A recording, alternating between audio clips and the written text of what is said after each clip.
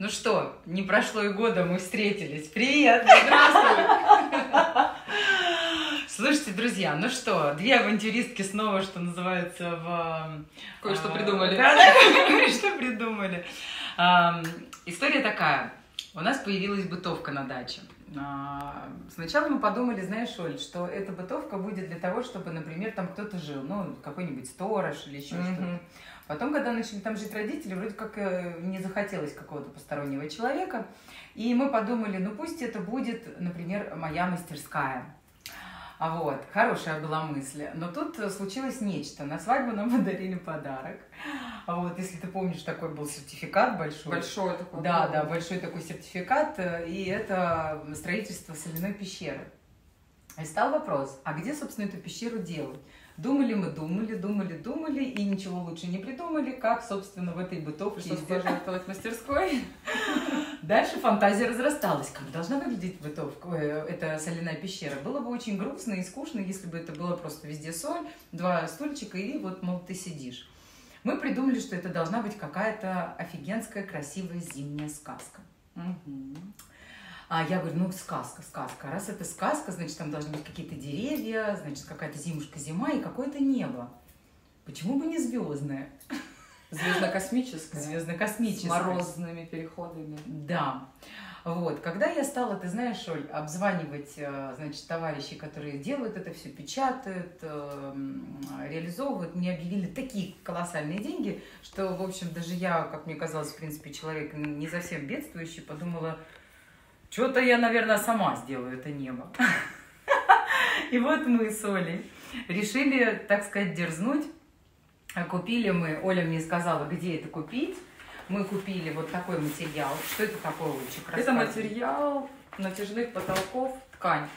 Для на фирмы, мы не будем называть? Да, фирмы? да. Мы тут не про Вот. фирму, мы про творчество. Да. Тканевый по- потолок. Да. Вот, такой имеющий фактуру прям холста. Да.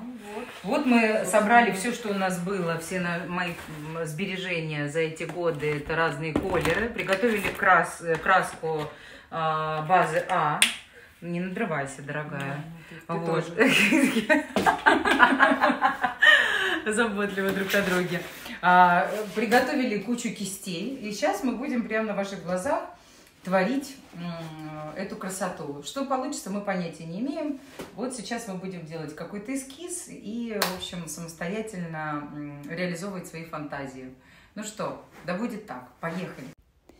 Как вы видите на видео, мы разворачиваем наше полотно.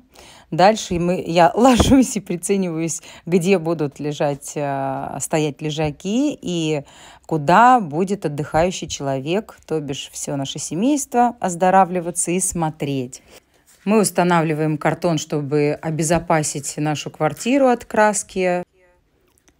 Мы взяли, очистили пространство от шерсти с помощью вот этих валиков, нарисовали, откуда у нас будет идти сам рисунок солнца, сделали две вот такие палитры, взяли краски, как вы видите, синяя, оранжевая, желтая, потом еще красная и такой очень интересный голубой оттенок.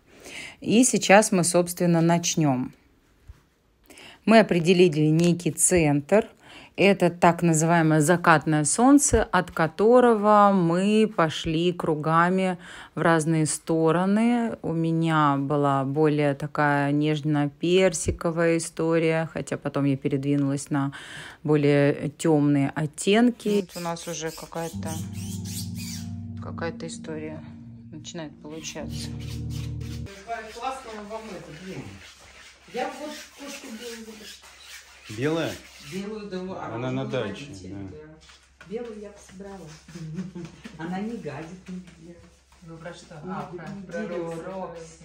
Ну, конечно, Рокси, она вообще... Шикарная женщина. Да, это, это просто шедевр. Соединимся в порыве светлых тонов. Интересная.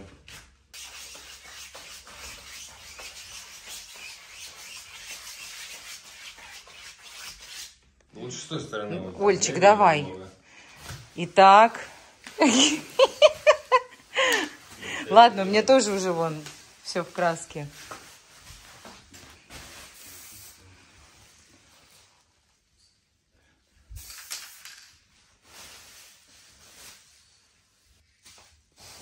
Так. Спасибо! Покажи руку. Залочили. А. Да вот так надо, да. Во. И лачком взбрызни. А ты по, по, по этому прям брызгай. Смотри, как Так я красиво. хочу, чтобы оно легло не, знаешь, слоем, а вот именно просто опустилось. Так вот оно легло, его теперь надо зафиксировать. Какие-то блестки зафиксируются, Вон. какие-то не зафиксируются. Фиксируй. Мы только что сделали вот такие маленькие крапинки определенным методом, все пальцевым. А сейчас будет нечто. На этом мы не остановились. Теперь розовые. Ну давай, Ольчик.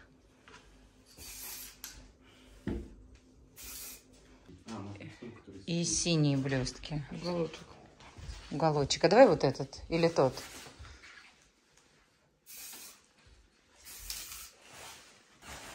Ну и самое интересное, конечно, в данном процессе не только сам э, процесс э, раскрашивания полотна, а с учетом того, что не хватает площади, это вот подтягивание этого полотна на диван, его застелить, обязательно а, убрать кошек. В общем, целая история тут у нас. Но э, весьма увлекательный процесс оказался. Вот что у нас получилось.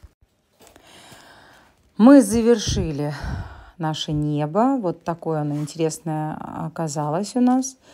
Э, Оставили его просушиться на 12 часов. А До утра оно жило у нас в гостиной, потом мы его перетащили в спальню. Эм, Там оно полежало еще практически сутки. Э, И все, привезли его на дачу. Вот теперь вы узнаете, что с ним будет происходить дальше.